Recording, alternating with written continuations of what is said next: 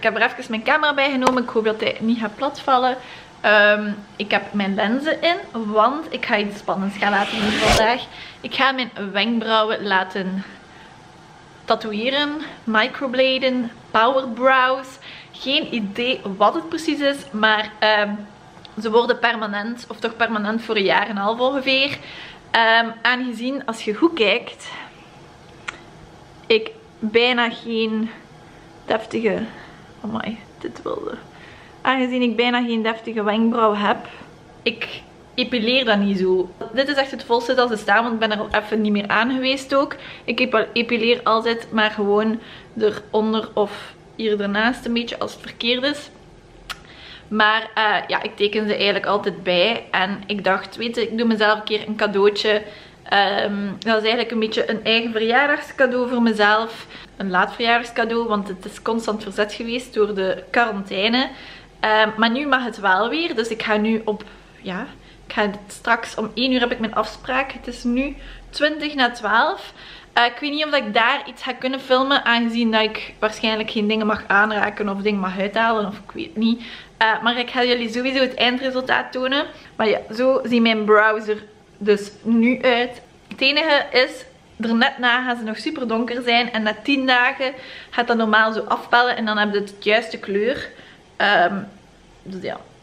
Het is dus vrijdag en ik heb eigenlijk niet meer gefilmd woensdag nadat ik de behandeling heb gedaan. Ik heb alle enkele Instagram stories gemaakt. Algemeen ga ik nu niet alle info geven over de brows. Ik ga dat doen als ze genezen zijn en als ik het eindresultaat ongeveer kan tonen. Uh, maar ik wil toch wel even een update tonen hoe dat ze er nu uitzien. Um, ze zijn dus nu redelijk hard, mijn wenkbrauwen. Ik moet er elke dag twee keer een crème op smeren. Ze zijn nu redelijk hard. Um, dus nog altijd heel donker, maar dus na 10 dagen begint dat dus los te komen. En ga je normaal al een deel van de kleur eronder zien die lichter is. Want nu is het echt zo... Nu heb ik ook niets van make-up aan, dus is het zeker zo bam in your face.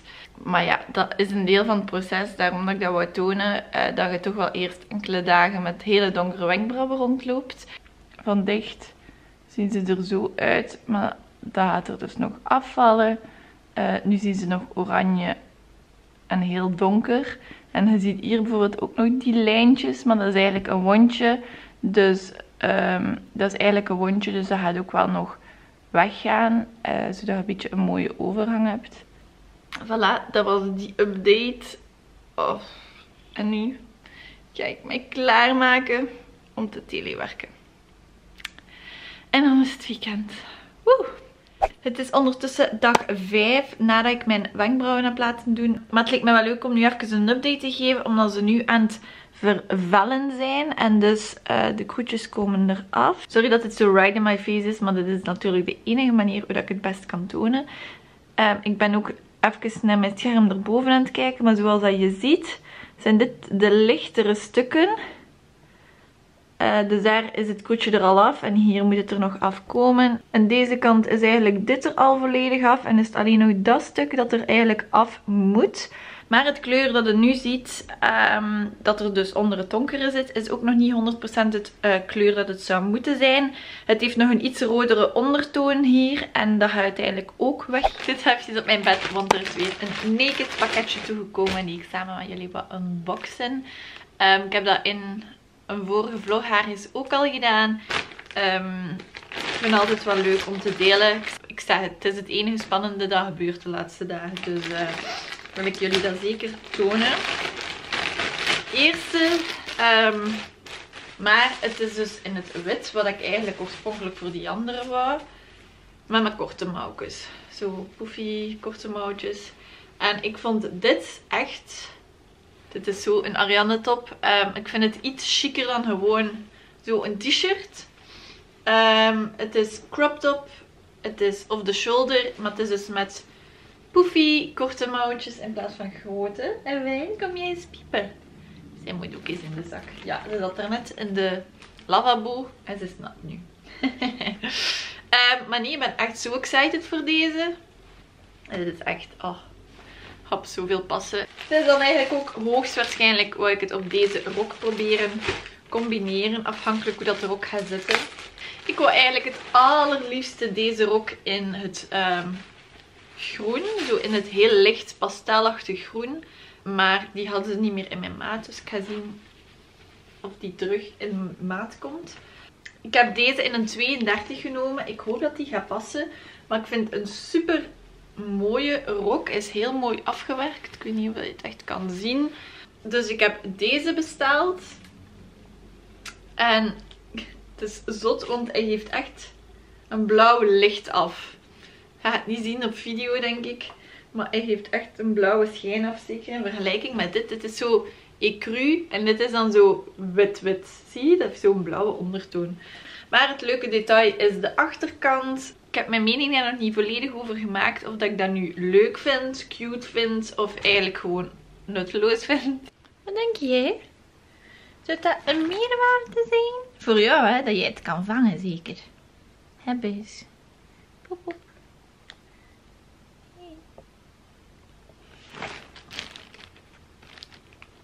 Ik heb het rokje dus aan en het zit zo perfect.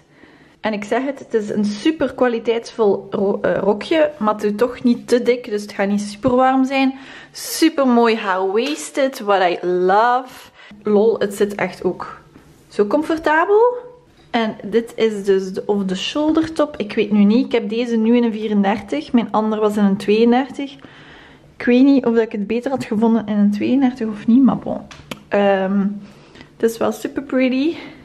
En dit is het er langs voor als die in het rokje zit. Is ook wel super cute.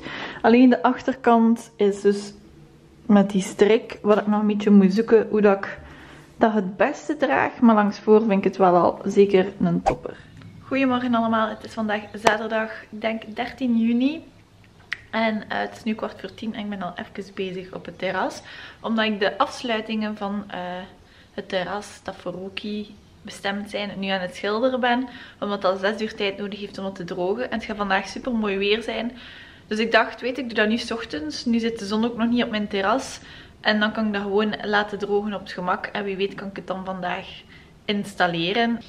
Of morgen. Ja, morgen gaat het ook mooi weer zijn. Kunnen we misschien ook samen eens op het terrasje genieten.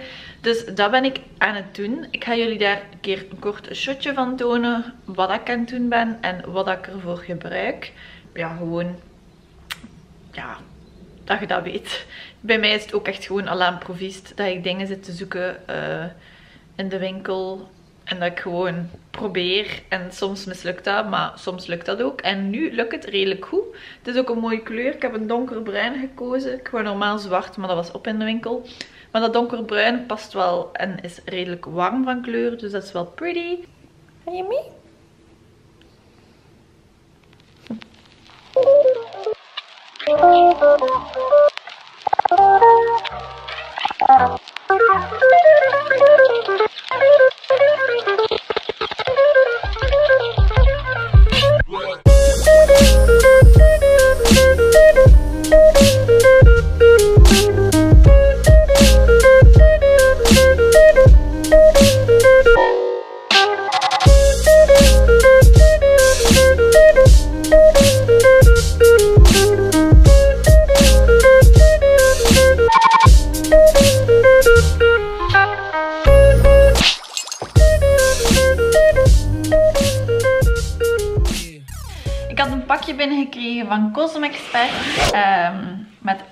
Leuke beauty stuff. En ik wou dat iets delen met jullie. Er is al één item dat ik in gebruik heb genomen.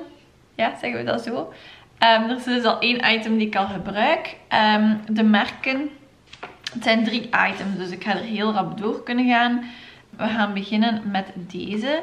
Dat is, de, dat is van het merk Garantia, denk ik. Of ach, ik weet echt niet hoe dat ik het moet uitspreken. Garantia Paris. Garantia. Ga, Garantia. Wel, dus ik snap het wel. Um, en ik vond dit wel heel speciaal. Uh, dit noemt de Diabolique Glaçon Gelée Cristalline en Eau. En het, blijkbaar zitten er kristalletjes in. Of hoe dat ze het ook zeggen. Wacht, ik ga de Nederlandse vertaling zo. Voilà, Nederlands. Diabolische ijsblokken ijsblokjes. Komt er goed uit. Diabolische ijsblokjes gel. Dus kristal, kristallijne gel in water. Verzorging hydro-energiserend, opvullende en anti-vervuiling. Dus dat is de werking. En het toffe is ook, het is ja, een soort gel op waterbasis. Ik ga dat, ik weet niet of ik dat volledig kan doen, want ik ga niet alles uithalen. En als je dat op je hand doet, um, heb je eigenlijk twee verschillende texturen die erin zitten. Echt zo uh, brokjes gel en dan het um, vloeistofje waar dat de brokjes eigenlijk in zitten. En dat smelt direct op je gezicht. Dus dan heb ik ook um, een Liposil mascara van Talika. En dit is blijkbaar een mascara die dus eigenlijk uh, de groei van uw wimpers stimuleert. Ja, het staat er weer niet Nederlands op zeker. Ah ja. Dankzij zijn technologie met dubbele werking van verzorging en make-up biedt Liposeals mascara uw langere, donkerdere en sterkere uw langere, donkerdere en sterker gekrulde wimpers. Na twee maanden winnen de wimpers ongeveer 29% aan lengte. Um, dus ja, dat is eigenlijk wel heel positief. Het enige nadeel at the moment, ik wilde echt een kans geven, maar nu draag alleen nadeel. Ik draag nu uh, wimper extensions, dus ik kan de mascara zelf niet uitproberen. Uh, maar als ik weer mijn gewone wimpers zou hebben, dan wil ik dat zeker een kans geven. En dan als laatste heb ik deze. Die wil ik echt uittesten. Ik ben geen fake tan expert. Meestal doe ik dat wel als ik bijvoorbeeld al wat bruin ben. Uh, om eigenlijk mijn bruinheid uh, zo lang mogelijk te houden of zo te stimuleren. Maar ik ben redelijk wit als ik nog niet gebruind ben. Ja, dat is het voordeel als je iets wit draagt, dat dat niet zo opvalt. Maar ik ben echt wel super wit van mezelf. Uh, maar ik kan ook wel goed bruinen. en dan heb ik meestal wel een mooi kleurtje in de zomer. Natuurlijk altijd heel voorzichtig goed ingesmeerd. Maar ze hebben dus um, zo een handschoentje opgestuurd. En dan hebben ze dus ook deze opgestuurd. En dat is dus de, ook van Garantia. Uh, of Garantia. Ja. Uh. Fais moi doré noem het. Fais moi doré. Bon. Um, ja, het leuke is eraan. Het is een crackling body foam. Self-tanning moisturizing. Uh, dus ik snap niet wat die crackling erbij staat te doen. Express vetverbrandend knisperend schuim. Wat bon, dat is speciaal. Goed schudden voor elk gebruik. Zeer sterk ontvlambaar. Ja, maar daar ben ik niets mee. Er staat wel geen uitleg bij. Ah, mijn blaadje staat er wel. Dus bij die een bruiner zit je hebt nog nooit een bruiner zonder zon gevonden die je dezelfde mooie taan geeft alsof je van vakantie terugkomt. Ontdek het eerste knisperend, zelfbruinend en hydraterend schuim die je benen natuurlijk goud kleurt zonder zon. Uh, wat eigenlijk wel een meerwaarde is binnen deze tijden, aangezien dat we niet naar uh, warmere oorden gaan en gewoon in het Belgelandje blijven. Um, kunnen we het wel een kans geven en er toch bruin uitzien. Dus ik wil dat eens delen met jullie, die productjes, omdat ze er wel veelbelovend uitzien. En ja, bon. Kijk nog iets vertellen? Wees niet. Tijdens het monteren heb ik ontdekt dat ik eigenlijk totaal het eindresultaat niet heb getoond van mijn wenkbrauwen. En ik vind het wel een meerwaarde om jullie dat in die video ook te tonen, aangezien dat ik daar zo wat mijn updates allemaal heb laten weten. Dus dit vandaag is het 22 juni. Dus het is geleden van 27 mei dat ik dat heb laten doen. Dus nu is het ongeveer ja, bijna vier weken dat ik het heb ja, laten doen dus. En ik ben al super positief over het resultaat. Want ze zeggen ook dat na ongeveer vier weken normaal volledig genezen is. Uh, dus ik wil jullie eventjes het resultaat tonen. Ik heb wel make-up aan nu. Dus het kan zijn dat er een beetje foundation of poeder op zit. Waardoor dat de kleur niet volledig uitkomt. Omdat het wat lichter is. Maar normaal haal ik het er wel ook af met een wattenstaafje. Altijd zo. Ik doe dan een foundation. En dan op het einde met mijn wattenstaafje zo troep. Maar dit is dus het resultaat. Hoe dat het eruit ziet. Ik vind het echt een super goed kleur. Ik vind het echt goed passen bij mij. Het is ook niet te donker. Ik heb nu wel ontdekt dat er hier een stukje uh, iets bleker is. Maar na acht weken wordt uh, het bijgewerkt. En er zit in de prijs inbegrepen. Ik denk dat het bij mij op 1 augustus vast ligt.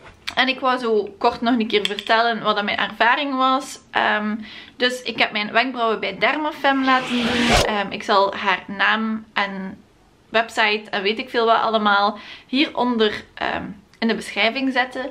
Ik ben echt super positief verrast van hoe aangenaam de behandeling eigenlijk is verlopen. Uh, ze legt echt elke stap uit die ze doet. Wat dat ervoor zorgt dat je super op je gemak bent en dat je precies ook minder pijn hebt. Gewoon omdat je weet wat er aankomt. Misschien moet ik wel even mijn bril terug gaan doen, want ik begin scheel te kijken anders. En ik heb totaal geen pijn ervaren. Ik denk dat hetgene wat het meeste pijn deed, is mijn haartjes met de pincet wegnemen. Ze moest dat zo af en toe tussendoor een keer doen. En dat was soms het pijnlijkste. Dat ik denk van, tja. Het is eerder zo een onaangenaam gevoel. Dus hoe dat ze het aanpakt is... Um, ja, je komt binnen en je mocht ook enkele voorbeelden, voorbeelden geven.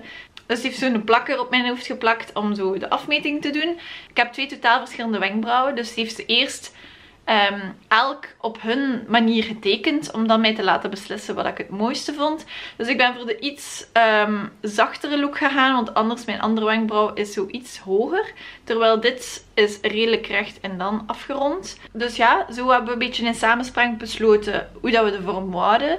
En dan start ze eigenlijk met de uitleiding. En dat is zonder verdoving. Maar je voelt er echt bijna niets van. En bij de vulling doet ze wel verdoving. Maar ik zeg het, ze legt alle stappen super goed uit. Dus je weet wat er op je afkomt. Ik denk dat ik ongeveer drie uur ben binnen geweest. Ben niet 100% zeker. Maar ik denk het wel, dat het zo ongeveer een drie uur was met alle stappen en alle dingen.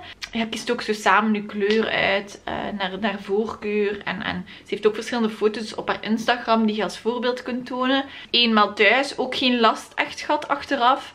Je mocht de eerste drie dagen ook niet douchen en zo en geen water opbrengen.